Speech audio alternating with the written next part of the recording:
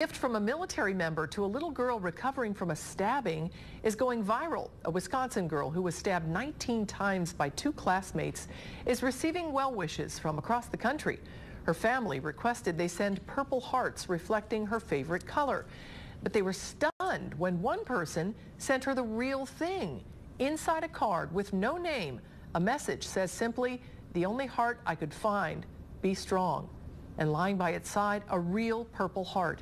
It remains a mystery who sent it.